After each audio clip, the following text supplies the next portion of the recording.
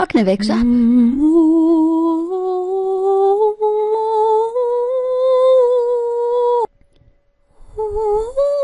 Högni at last wakes up, lies there very feeble and drowsy, can hardly open his eyes. And we see that he cannot clearly see anything around him. All is blurred and unreal, out of focus and threatening.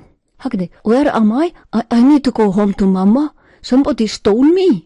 I think it was a monster, not a man. At least he did not have any ordinary eyes. It had terrible black eyes, black as the darkest darkness, and it laughed and was terribly strong and all furry, or perhaps it wore some mantle of fur. They were all of them monstrously strong as they dragged the huge logs from the shore as if they were withered straws. Of course they had horses too, but still they were all of them strong and ugly. I have sworn to find the thief. Now I know it's no man. They are monsters from the mountains. How can I ever find them again?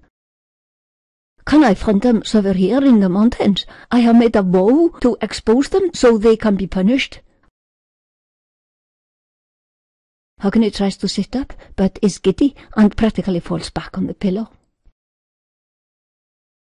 Edda says, thou shallst have to recover, deadlingur, thou hast got fever. Okay, how stupid I was. I went out to look for my knife in the middle of the night, and I had fever, to make it all the more a stupid idea. Edda, or because thou hadst fever, deadlingur. Eh, it was stupid, but this was to bring thee to the task of thy life. Inevitable are örlög. Thou hadst to be stupid to find the greatest knowledge. Kesavadeva Shastri, friend of my great-grandfather Aui, named me Edda to remind him of Veda Vyasa, he said. Högni seems not quite to get what Edda just said, actually does not understand any of it. He is too occupied with his woe of finding the culprit in Erkenvik.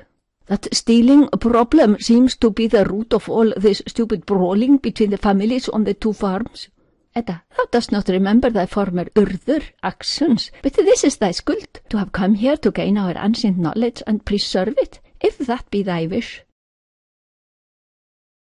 Note, Högni is always vulnerable, never tough, not a tough guy type at all, and we sympathize with him in any situation. He is so innocent and helpless at times that his very presence calls for help and love and care, and he is the too trusting type. It's not always wise to trust everyone and everything.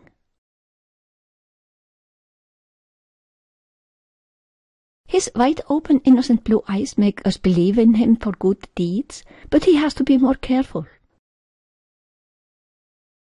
Högni, my name is not Dettlingur, my name is Högni. Edda, Högni, good, the guardian and protector of men.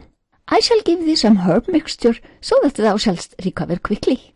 So, as Urður verðandi en skuld seem to have decided this to be thy örlög, that is, to end up here in Hveradalir, I shall teach thee all in knowledge.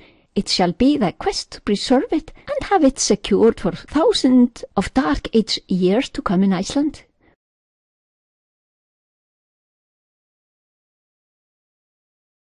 When thou recoverest, thou shalt return to Erkenvik, a much wiser man.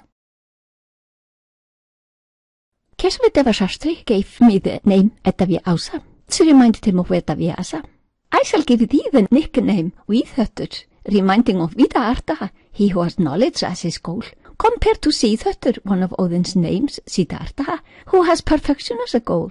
Didst thou know? Arta is goal, not any hat.